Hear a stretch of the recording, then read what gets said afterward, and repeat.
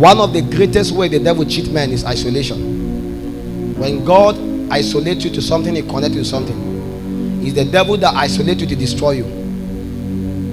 Anytime you find that you are offended by everybody, you know you are under attack. Because at the junction of the end of yourself, God connects you with someone. I have always realized this. You can't hate everybody because God have a lot of systems put in place on the earth to ensure that mankind encounter him. So peradventure, you meet a system and you are disappointed, God connect you to another system. If you come to a point one day and you felt that you are okay in Shekinah, yes, maybe your time and season is over here. God will connect with another again. That is how life works. But the danger there is this many people come to a point where they are offended by everybody. We look at your life, there is no one walking in purpose, no one that genuinely loves God that is surrounded by you. And you realize you think you are wise. It is a strategic plan by the kingdom of Babel to ensure that you are ostracized from Zion so that you can be in a civilization of Babel and be destroyed. Because the difference between Babylon and Babel is that Babylon has a system of lordship and rulership.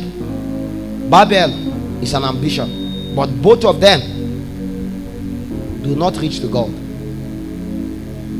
Whether Babylon, whether Babel, God is interested in destroying them. When a man isolates himself from a society or from God, what he does is that he wants to build for himself a name. Sometimes he wants to increase in himself. Sometimes he said, I just want to forget about this God. Let me organize my life. Let me do this, do this, do this. What do you try to do what we call Babel? Because now, even the devil, you are not interested. You want to manipulate your way to go up. You want to build a tower that will reach heaven. Going to the top is not by a man. You are sum up. You are called higher. You can't ascend because the ladder are too invisible. And that is the reason why Babel cannot stand. God Himself will fight it. Another way that men do is through Babylon. And Babylon has a system already.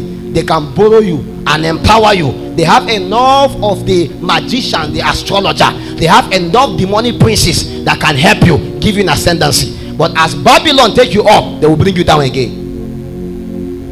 That is why you must be able to understand that when you are going to fulfill purpose, you must study the lifestyle of those that fulfill it and replicate it. Find out the laws in guiding to the region, the system where you are called into. Understand the law of power. Understand the law of value. Understand the law of influence. Understand the law of leadership. Find out how power works.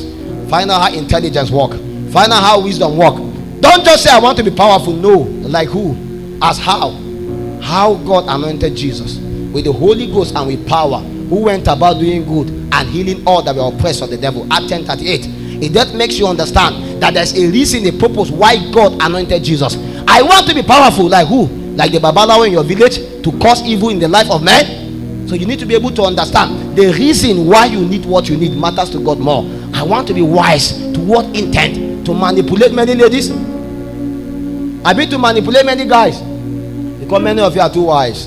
You have 13 boyfriends, and up till now they have not caught you. And many of you young men are too wise too, because you have 10 girlfriends. And you visit them each and every one, and all of them, they look as though they really mean a value to you, but you know you lied. And the wisdom God give to you, now you use it in advancing a system of Babel and a system of Babylon, because all is your ambition. I want to let you know that the gods are wise. You think the gods are foolish. They give you that privilege for a moment. After a while, they will tell your days are numbered and you have been way. Now you are found wanted. All your economy, as you are joining with us, your transaction end now. You say, No, I want to repay again the sacrifice. So we need no sacrifice. Somebody want to replace you. Your season are over.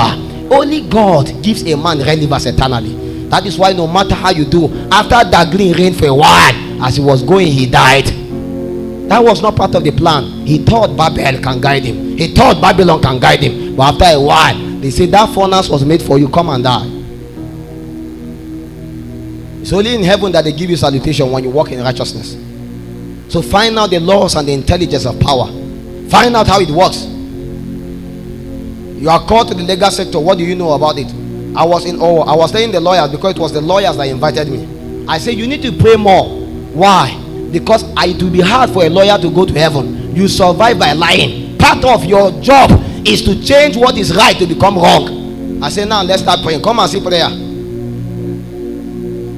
Because an average lawyer was designed, he was taught to lie. The same way an average pharmacy was a pharmacist, pharmacist was trained to create drugs that cannot cure, but to be prevented. So that it's business. Pharmacy is business. Nobody will give you a drug that will cure sickness. It's a lie. They will rather give you the one that will maintain it and kind of prevent it for a while.